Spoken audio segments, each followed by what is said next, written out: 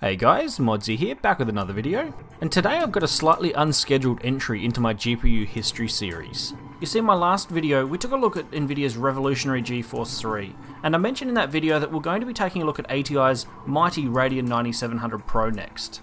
But while trying to find a uh, 9700 Pro, I uh, stumbled across this other rather special card that I've been looking for for my collection for uh, a number of years, and uh, well, let's check it out.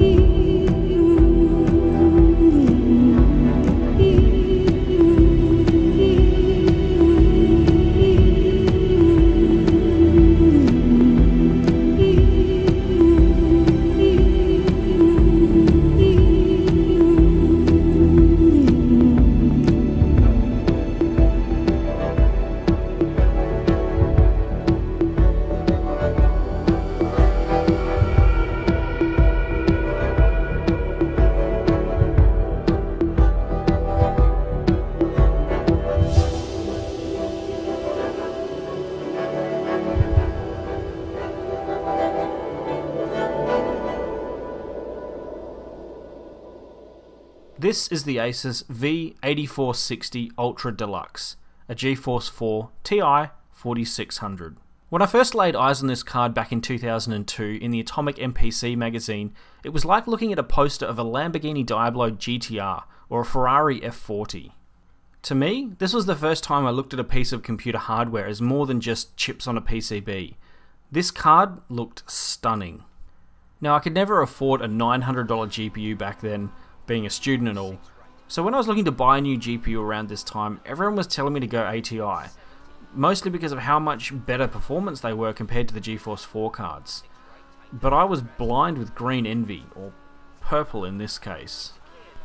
So what was wrong with the GeForce 4 series of cards? Well, the GeForce 4 actually launched with outstanding performance when it launched in early 2002.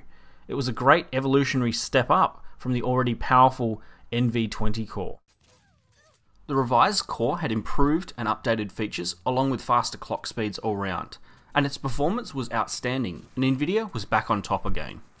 But sadly, being just a revised core of the previous two generations, it still lacked DirectX 9 support. So at this time it was known that ATI was developing a brand new chip from the ground up, and it was still unclear whether Nvidia should have also followed suit, but we had to wait almost half a year for the new chips to come out from ATI. So the core inside the flagship GeForce 4 TI4600 has a core speed of 300 MHz and a memory speed of 550 MHz. Some board partners shipped slightly overclocked versions, although most of these had only simply overclocked the VRAM as the NV25 at reference was already pushing up against its architectural limits. Because of this, the lower clocked TI4200 model was the real star of the GeForce 4 Ti lineup. It was a fully unlocked NV25 core just with slightly lower clock speeds and RAM speeds at almost half the cost of its bigger brother. This meant that it could almost always be overclocked to within 10 or 20 MHz of the TI4600.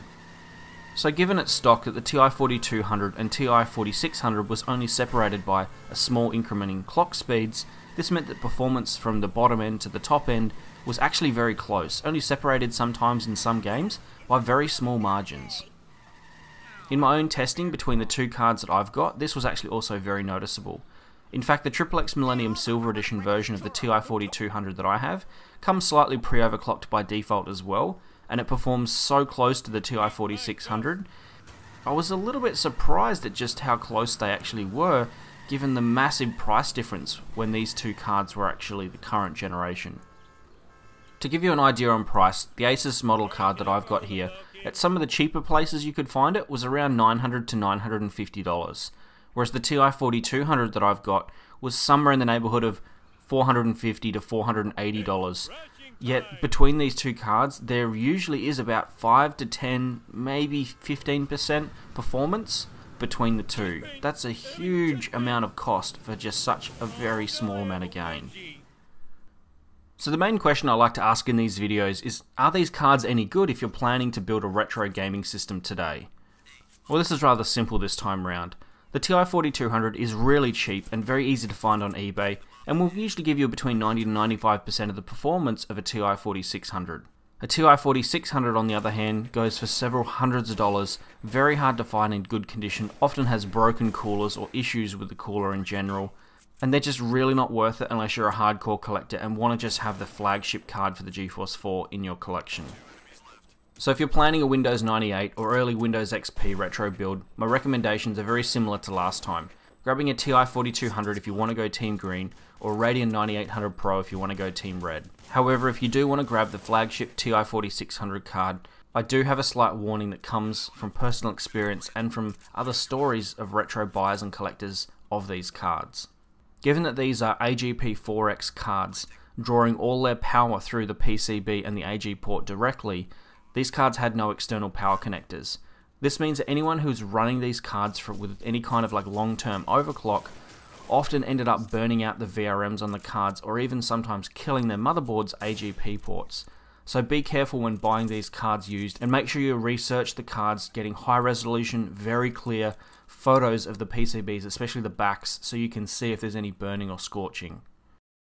So in summary, the GeForce 4 TI 4600 came with Nvidia's updated Infinite FX 2 engine, the same 4 pixel pipeline as the GeForce 3, and the product lineup for the GeForce 4 had limited performance gains going from the low tier to the high tier.